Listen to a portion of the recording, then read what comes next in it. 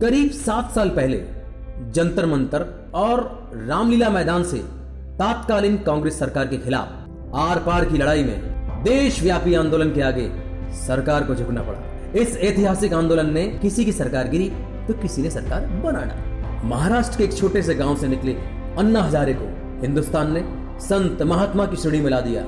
विश्व ने नया गांधी मानने लगा, लेकिन फिर धीरे धीरे उनकी भी महत्वाकांक्षा जग ज़ाहिर होने लगी। राजनीति के मंच पर न आने की शपथ को तोड़ते हुए ममता बनर्जी की दिल्ली रैली में जाकर पब्लिक के न आने पर मंच पर न आकर अपनी ही फजीयत करवा डाली। और चार साल खामोश रहने के बाद जब चारों तरफ़ से मोदी सरकार पर तीर छोड़े जा रहे थे, अन्ना जी ने भी फिर से लाइमलाइट में आने के लिए सरकार के खिलाफ अनशन शुरू कर दिया।